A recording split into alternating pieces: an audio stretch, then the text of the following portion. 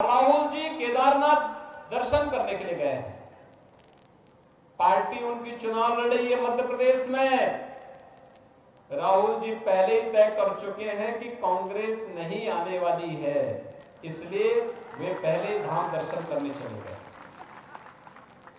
सच है ना? मैं गलत तो नहीं बोल रहा हूँ।